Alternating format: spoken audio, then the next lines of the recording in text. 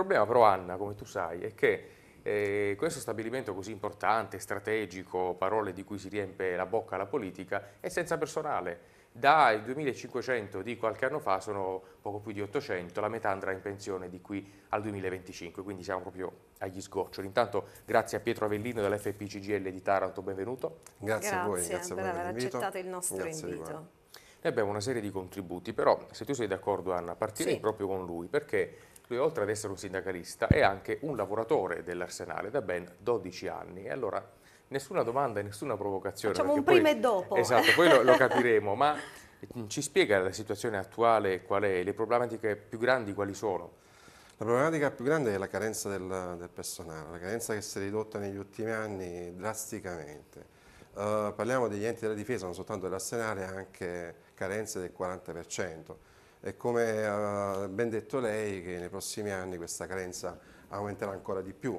Noi siamo, siamo qui per chiedere assunzioni, assunzioni e assunzioni, uh, senza proclami, abbiamo bisogno di, eh, di fatti, fatti concreti. Uh, L'Arsenale come altri enti della difesa hanno uh, un impatto sulla città davvero grande, la loro estensione occupa quasi 260 ettari uh, di, di, territorio tarantino, basti pensare all'Arsenale che sono 90 ettari da ponte a ponte, da Ponte Gelo a Ponte uh, Punta Penna. Prima impiegava un sacco di, di, di operai, adesso come, come, ha detto lei sono, sono, quasi 800 e quindi stiamo perdendo uh, potere occupazionale sul, sulla nostra città. Uh, in realtà um, si, si, sono fatti nella storia, anche anticamente, negli anni 70, c'era questo problema occupazionale che poi fu risolto grazie agli interventi delle organizzazioni sindacali attraverso delle manifestazioni, che portò alla creazione della legge 285 del 77 con un'assunzione di 2000 posti uh, di, di, lavoro, quindi c'è stata una, una, prima assunzione negli anni 80, assunzioni poi che non, sono state, non sono state fatte nei, negli anni, adesso queste mancate assunzioni e pensionamenti hanno ridotto drasticamente. Si sentono. Si sentono e si sentono uh, pesantemente sul, sul uh, impattano proprio sul, sul, nostro stabilimento ma anche sugli altri enti della difesa, anche perché le cose da fare ci sono sempre e quindi uno stabilimento attivo.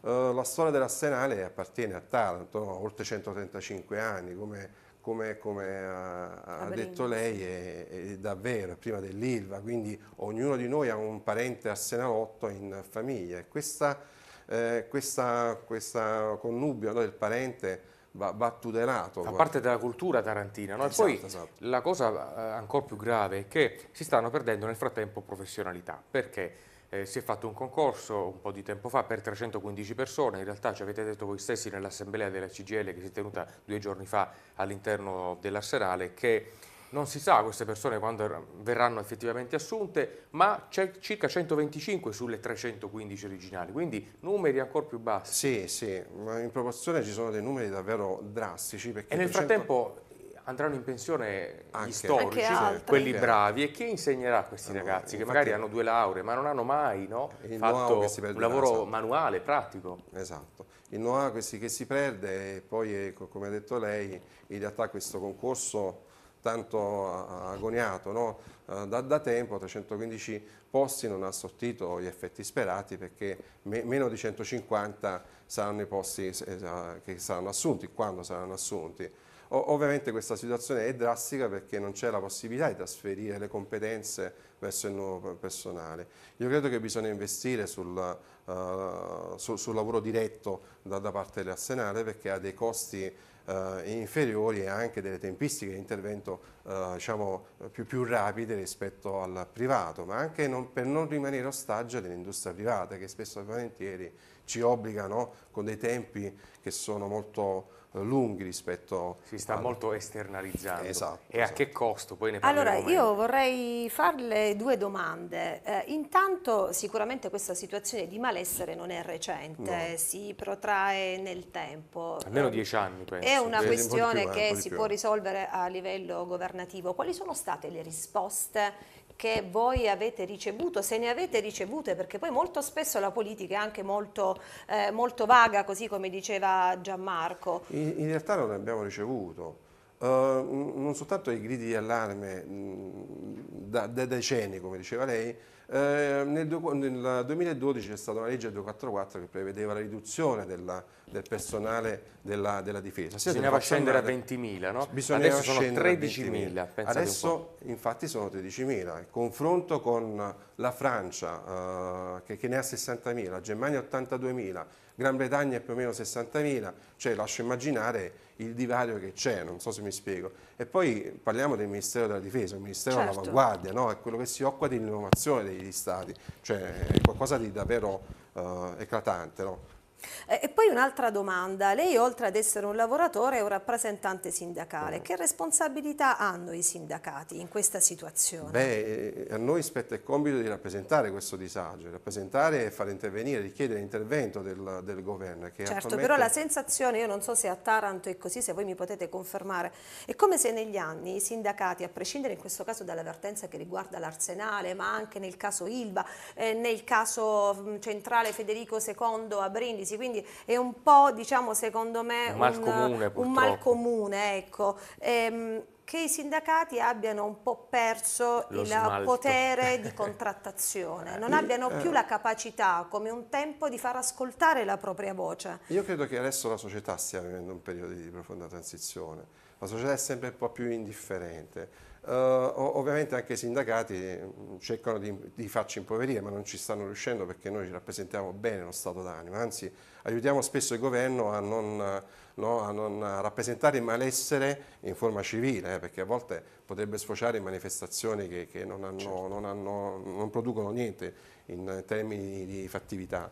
E io credo che il sindacato invece bisogna animarlo, bisogna perché ha fatto delle conquiste eccezionali nel tempo, altrimenti eh, abbiamo dietro l'angolo il precariato, il precariato che sta, si sta sviluppando ovunque e, proprio, e il lavoro pubblico ha dimostrato recentemente durante il Covid che è, è fondamentale per, per, lo Stato italiano. Eh.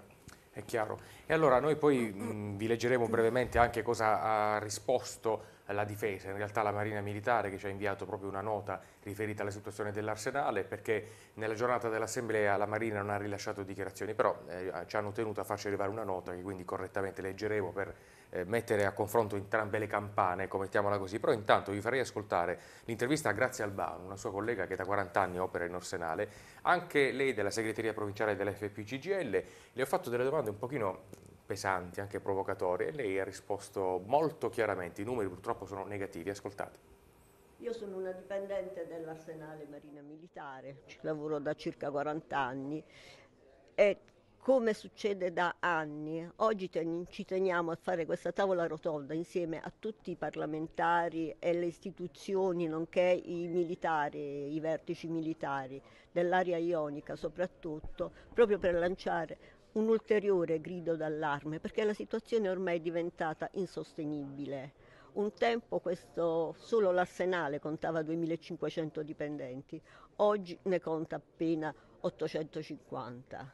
Di questi 850 fra due o tre anni il 50% andrà via, sicché la forza in arsenale come in tutti gli altri presidi della difesa di Taranto, che sono 18, diven- si diventerà pari al 30% circa di quello che serve, che vuol dire inoltre che i rimanenti sono soprattutto ex militari transitati per problemi di salute, che possono fare che hanno una serie di limitazioni per cui alcune attività tecniche non le possono fare, per cui il numero si dovrebbe ridurre intorno alle 100 unità, 150, non si sa bene, di personale tecnico fermo restando che aspettiamo i 149 su 315 che verranno assunti, non si sa bene quando, con, in seguito all'ultimo corso concorso. Per cui la cosa che noi stiamo chiedendo è che ci sia un'alleanza con il territorio, dalle figure politiche alle figure istituzionali, alla Marina, affinché ci siano delle assunzioni. Assunzioni che significa rinvigorire tutti, tutta la difesa di Taranto, che è quella che offre uh, supporto alle unità navali e che sono davvero indispensabili per il ruolo che esercitano, sapendo che questa è un'attività che garantisce alla Marina autonomia di intervento, permette di calmierare i costi. Le faccio un esempio prendere un'attività di gru dall'esterno ci costa 1800 euro al giorno, che è pari allo stipendio di un mese di un gruista. L'altro esempio che si può fare è anche quella di una bettolina che qualche mese fa l'amministrazione stava la difesa stava cercando per le attività di rifornimento delle navi e quant'altro, voleva prendere in, uh, a noleggio una bettolina con tutto il personale per 7 milioni e 400 mila euro. La gara è andata deserta. Che significa? Significa uno che non c'è più personale, due che in assenza di un competitor pubblico i prezzi lievitano quindi 7 milioni e 4 non sono stati sufficienti. Allora noi questo chiediamo, chiediamo che la Marina non disperda un patrimonio di attività dirette che ancora oggi può vantare. Noi facciamo le missioni, facciamo le attività sui radar, sui missili, sul sistema d'armi del, che stanno a bordo, facciamo disinquinamento con le panne eh, questa è un'attività che fa Marista Nav, viene aperto e chiuso il ponte dal genio e quindi gli interventi che servono. Tutte queste attività non possono e non devono andare disperse perché è importante che intanto lo Stato risarcisca Taranto per tutte le aree che sono state cedute. E parliamo di 90 ettari per l'Arsenale e 60 ettari per Maristanav a base navale.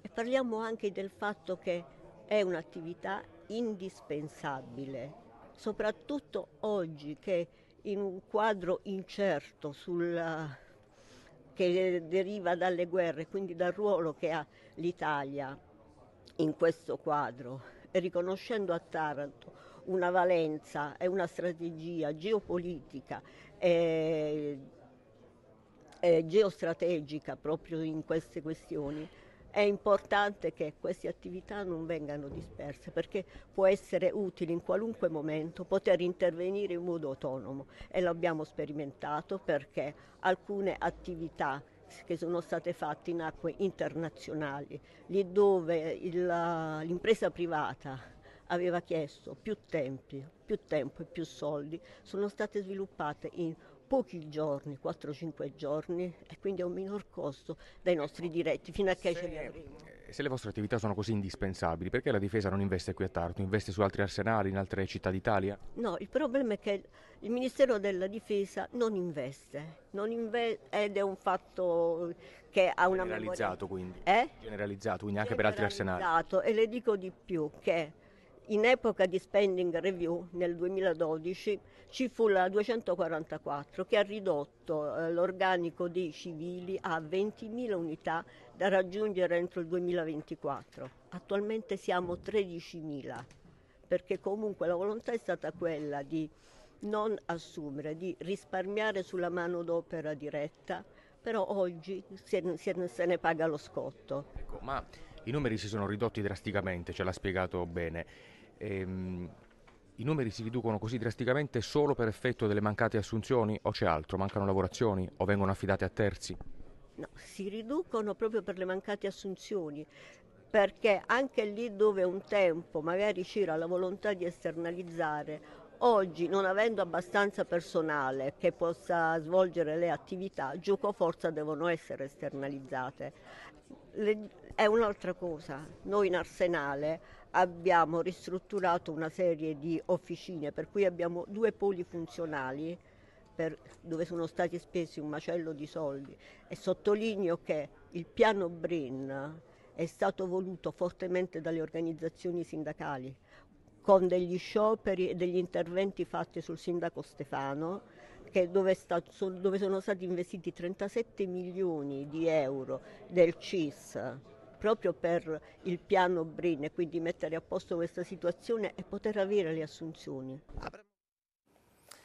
E allora, allora, così questa lavoratrice, Anna, volevi aggiungere qualcosa? Poi sì, leggo volevo, la nota di... Volevo aggiungere no, una riflessione che proprio prendendo spunto dalle affermazioni di Grazia Albano, la segretaria provinciale dell'FP CGL di Taranto, uh, serve un'alleanza è un termine importante, serve un'alleanza fra la società civile, la politica, le amministrazioni, c'è questa alleanza a Taranto? Perché Beh. altrimenti poi tante piccole vocine che sono quelle dei dipendenti è più difficile, con difficoltà si fanno ascoltare. Sì, anche difficoltà poi rappresentare. Esatto. Beh, lunedì questa cosa spero che l'abbiamo fatta. Mm. C'è stata una bella manifestazione a cui avete partecipato anche voi, dove c'è stato l'impegno da parte di uh, tre onorevoli tarantini, un assessore regionale Lopane, il senatore Mario Turco, l'onorevole Pagano e l'onorevole De Palma, che quindi maggioranza e opposizione che si sono presi l'impegno di rappresentare al governo questa grave carenza organica. E speriamo di, di, no, di, di, raggiungere, di continuare così su questa, su questa onda tracciata, su questo sentiero tracciato dalla CGL e quindi di rappresentare Ecco, aggiungiamo che eh, la CGL c'è già stata varie volte in Arsenale per rappresentare questi problemi, che in questa assemblea avevate invitato un sottosegretario alla difesa che si occupa proprio di questo, ma il sottosegretario ha declinato l'invito, cioè ha detto io non voglio venire, proprio in maniera chiara, questo ci hanno riferito i vertici del sindacato, c'erano Giovanni Taccangelo che è il segretario eh, generale della CGL di Taranto, ma anche Florindo Oliviero che è il segretario nazionale della FP-CGL. Non abbiamo il tempo di farvi ascoltare tutte le interviste, però questo è un dato significativo, no? una persona che non abbia il tempo o forse la voglia di interfacciarsi, insomma staremo a vedere. Ma di fatto questi mh, sottosegretari ci sono già stati in Arsenale, appena qualche settimana fa li ho intervistati e c'è sempre una ricognizione, un voler valutare la situazione, ma i problemi c'è sono noti sempre qualcosa che chissà per quale motivo sfugge e che non è al posto giusto. Non vorremmo fare gli avvocati del diavolo, però poi a arrivati a un certo male, punto insomma, a pensare male sembrerebbe che la difesa non vuole investire, non diciamo su Taranto, eh, però in generale su questo comparto che però è importante. Avete ascoltato bene perché quante cose fa ad esempio l'Arsenale a Taranto. Vi leggo brevemente è una nota che ci ha fatto pervenire Marina Sud, il Comando Interregionale Marittimo Sud, avete visto che ha partecipato all'assemblea anche l'ammiraglio di squadra Vincenzo Montanaro che è proprio al comando. Che dice? Andiamo prima alla radio?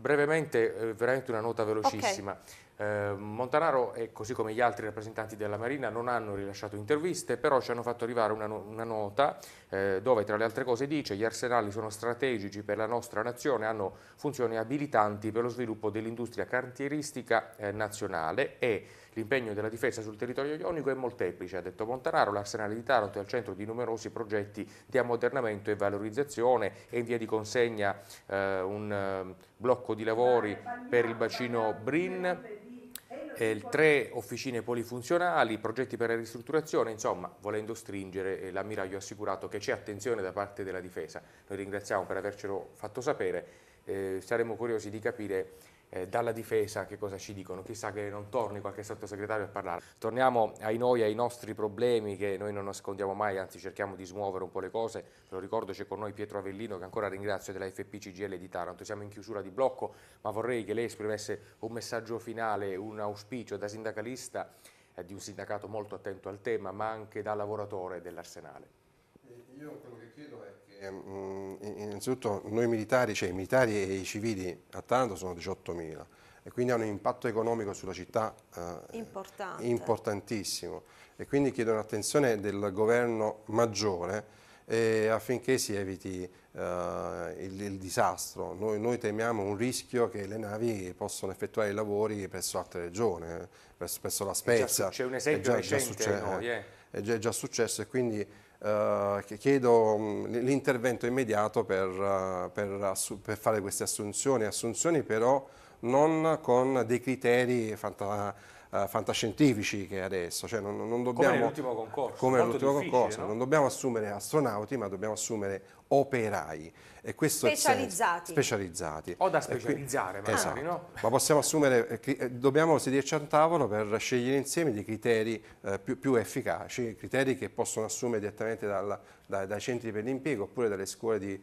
formazione operaia no? che abbiamo qui sul territorio, perché no? Certo anche perché i tagli ci sono stati, hanno funzionato su 20.000 che bisognava raggiungere entro il 2024, siamo a 13.000, quindi, quindi sì, no? No. Insomma, ci sono immagini, io penso eh, forse ignorando qualcosa, che si possa assumere qualcuno. Eh, come diceva il, mm, eh, il, nostro ospite Avellino, ma l'ha detto anche Oliverio, che è appunto il segretario nazionale, banalmente dei ragazzi appena usciti da un istituto di formazione, da un ITS, da una scuola esatto. superiore, li mettiamo a lavorare, risolviamo un problema anche lavorativo, li facciamo formare da questi eh, Anche perché non tutti vogliono fare il percorso universitario esatto. ed è giusto anche, visto che c'è bisogno sul territorio, anche sugli ITS, no? molto spesso si fa questa osservazione, eh, devono essere eh, formazioni attinenti alle richieste del territorio, esatto. devono rispondere alle richieste del territorio, beh, insomma ci sono le industrie, c'è l'arsenale, eh, c'è il turismo, di questo dobbiamo parlare, semplicemente far incontrare queste